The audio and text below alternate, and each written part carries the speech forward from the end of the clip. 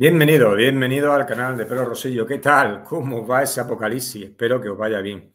Bueno, sabéis que anoche detuvieron al periodista Vito Aquiles de estado de alarma. Eh, lo han soltado, ha estado, no sé si han estado 12 horas aproximadamente en, los calabozos. Yo estuve 24, o sea que bienvenido. Bienvenido a la experiencia. Eh, compañeros míos también estuvieron 48 horas sin justificación. Sin justificación pueden tenerte detenido hasta 72 horas si ellos quieren. O sea que te pueden haberte detenido 72 horas si ellos hubieran querido. Esa es la ley. Eh,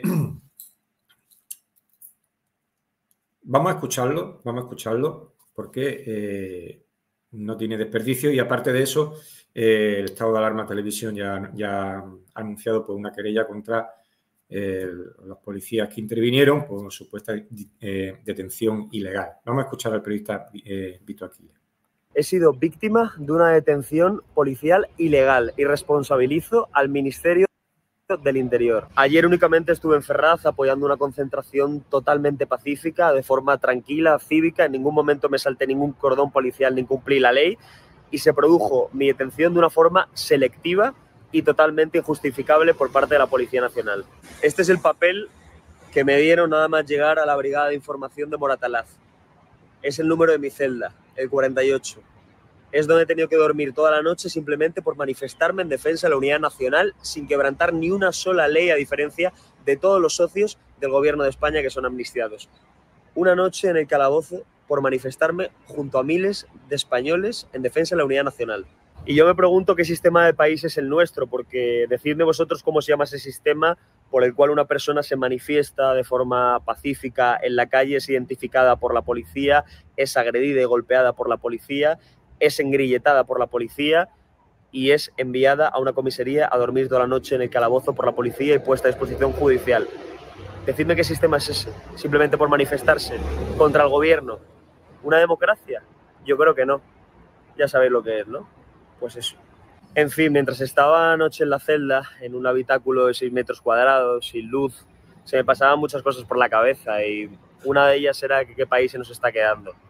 Estamos en una dictadura, señores. Dejaos de tonterías ya, despertad, cojones. Nos han colado una puñetera dictadura. El momento en el que no te puedes manifestar libremente en la calle es una dictadura. El momento en el que por criticar al régimen te gasean estás en una dictadura. En el momento en el que no puedes pasar un paso de cebra porque está cortado, porque quieren evitar que te manifiestes, estás en una dictadura. En el momento en el que te alejan a 500 metros de una sede de un partido político porque no puedes ni acercarte a la esquina, estás en una dictadura. En el momento en el que te detienen simplemente por alzar la voz y que te identifican y que te toman los datos, estás en una puñetera dictadura. Cuando detienen a un periodista y salen las ratas del Estado, los sicarios, a justificar la detención, descalificando al periodista para alinearse con el gobierno, estás en una puta dictadura. Y por eso acabo diciendo que los únicos que podéis hacer algo, que los únicos que podemos hacer algo, somos nosotros, sois vosotros, todos juntos, a las 8 de la tarde, hoy otra vez a Ferraz, movilización constante, permanente, que no nos callen, que no nos amedrenten, tenemos que seguir saliendo, señores, todos los días, hoy todo Madrid, toda España tiene que estar en la calle de Ferraz. Así que no os achantéis ni con multas, ni con sanciones, ni con detenciones. Hoy todos a protestar contra la dictadura. Nos vemos. Bueno, pues esta ha sido la experiencia del periodista joven y valiente Vito Aquiles. Eh, que estamos en una dictadura, eso yo pienso que ya nadie lo duda, salvo los radicales de izquierda, que están haciendo palmas con las orejas, ¿no? porque eso es lo que, eso es lo que les mola.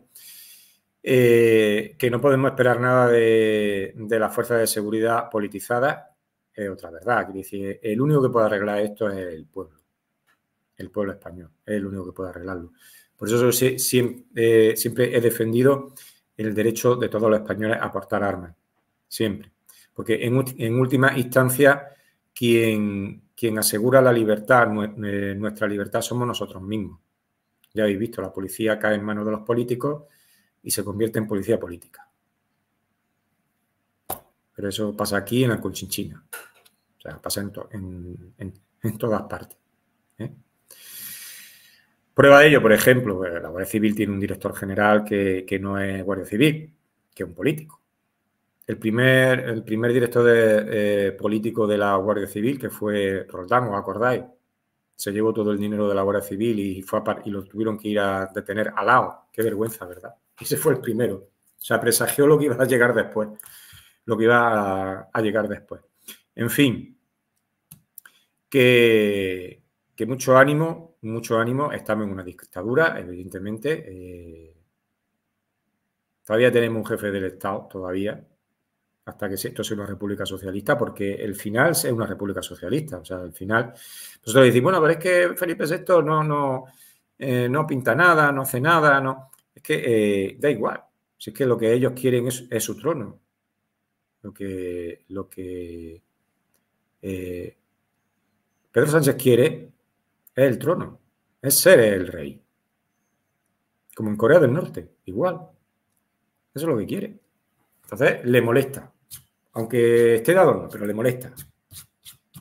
Que no creo que esté de adorno. Algo hará, digo yo. Algo hará, supongo. Supongo que algo hará. Bueno, señores, que ánimo. Ahí tenéis número de bici, un número de cuenta si queréis que, estoy realizando una buena labor informativa. Rezar el rosario, es lo más importante. Y a la batalla hay que ir bien armado y el mejor arma es el rosario. Regalar un rosario también y no os preocupéis por nada, porque al número, eh, porque al final, la verdad siempre nos hace libre. Gracias y hasta la próxima.